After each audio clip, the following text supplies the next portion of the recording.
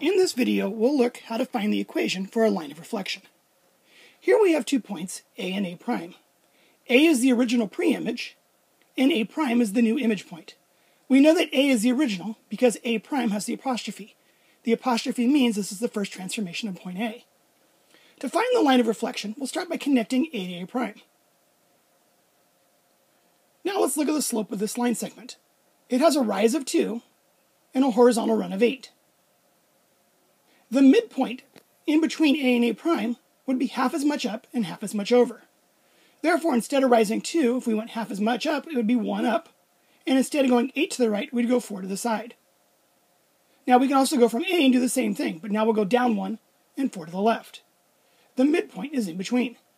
Now notice that the two right triangles we drew are going to be congruent. They both have a vertical leg of 1, a horizontal leg of 4, and by Pythagorean theorem, their hypotenuse would be equal. That's how I know that this really is the midpoint. They're the same distance from A and A prime. All right, so let's go and list. The midpoint now is going to be at 1, 2. Next, let's turn our attention to finding the slope of this blue segment. Its rise is 2, and its run is 8. Therefore, the slope is 2 eighths, which reduces to 1 fourth. Now, the line of reflection is going to have a perpendicular slope to this line. To find the perpendicular slope, you need to take the opposite reciprocal. So we're going to take 1 fourth, flip it, and change the sign.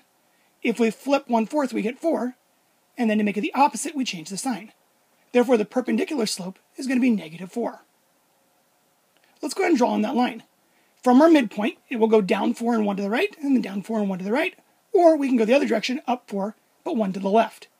So here's that line. Now let's find the equation of it we can use point slope form.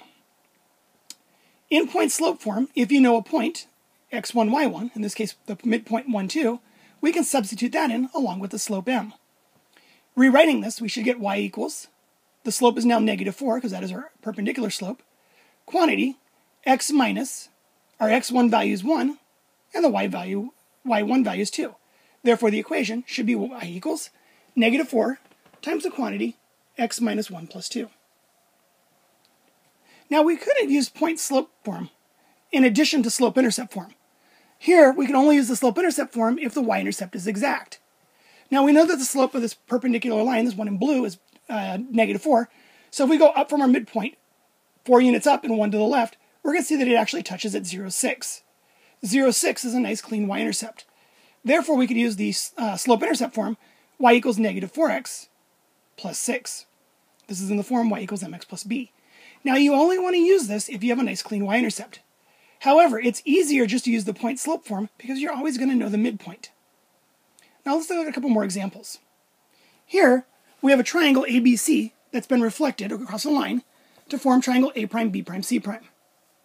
Let's start by connecting the corresponding points. We'll connect A to A prime, B to B prime, and C to C prime.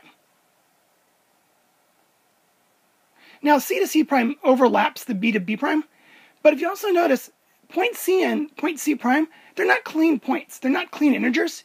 So we probably don't want to use those when we go ahead and find the uh, line of reflection. Now I see that A has a nice uh, clean coordinate, and so does B. I can use either one of these for doing it. Let's start with point A. Let's look at the slope going from A to A prime. This time I notice the slope is negative because it's going down as it goes to the right. So we have to go down 6 units and over 4 units. If we go half as much down and half as much over, that'll tell me where my midpoint is. Half of 6 is going to be 3, so we go down 3 units. And then half of going over 4 is going to be over 2 units. Now I can also go from A prime and do the same thing. Go up 3 and 2 over. Now notice they intersect at the same point. That is my midpoint. Here the midpoint is going to be at negative 2, 4. The slope of the segment connecting A to A prime is negative 6 fourths. This reduces to negative 3 halves. The perpendicular slope for our line of reflection is going to be the opposite reciprocal of this. So we'll flip and change the sign. That opposite reciprocal slope is going to become 2 thirds. Now let's go ahead and put our equation, once we draw it. We know that the slope is going to be 2 thirds, and it passes through the point negative 2, 4. Therefore, the equation, y equals, we can substitute m as 2 thirds times the quantity x minus negative 2, well, the double negative becomes x plus 2, and then plus 4. So here's our equation. Now notice the y-intercept is not a clean coordinate. So in this case, because it's not easily identifiable, I wouldn't want to use slope-intercept form. We'd want to keep it in point-slope form because we know for sure it passes through the point negative 2, 4. And I'm not sure what the y-intercept is. Now we could have used point B instead. So let's look at an example how that would work. So here's the same picture. If I connect B to B prime again, I get this. Now notice that the segment going down is going to be 12 units, but it now goes over 8 units. The midpoint here would be to go down 6, but only over 4. So let's do that. Or we can go up 6 and 4 over from B prime. Now the midpoint is going to be a different coordinate, it's negative 5, 2. The slope, if we reduce 12 eighths, negative, is going to become negative 4 thirds, or negative 3 halves rather, which is still the same slope as before. The perpendicular slope, if we take the opposite reciprocal, is still going to be 2 thirds, just like we had previously. Now the equation, once we draw it in, same line, the equation might look a little different. Here it's going to be y equals 2 thirds times the quantity x plus 5 plus 2. Now notice it's the same line I had in the previous example, but the equation looks different. It's not that the equation really is different, I just found a different form of it.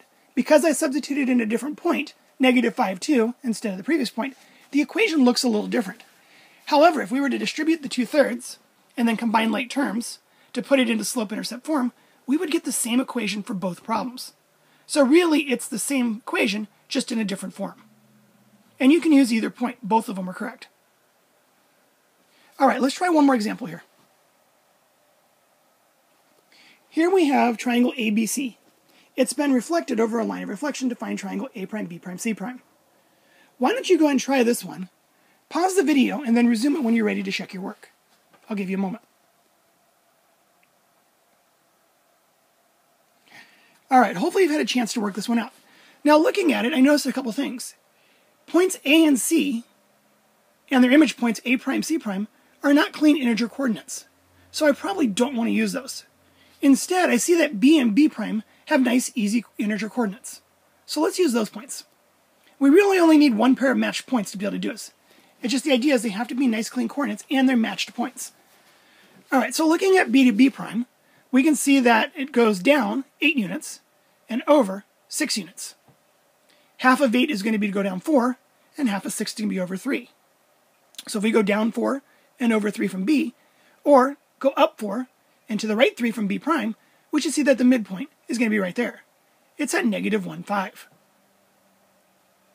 Now the slope of the segment that connects B to B prime is positive because it's going up and to the right, and it's going to have a slope of 8 sixths. 8 sixths is going to reduce to 4 thirds. The perpendicular slope would be the opposite reciprocal. That's going to be negative 3 fourths. All right, putting the slope and the point negative 1, 5 into our equation, we're going to go and see that it becomes y equals negative 3 fourths times the quantity x minus a negative 1, which becomes x plus 1, and then plus 5. This is the equation for the blue line, which is the line of reflection. All right, thank you for watching. Hope this helps.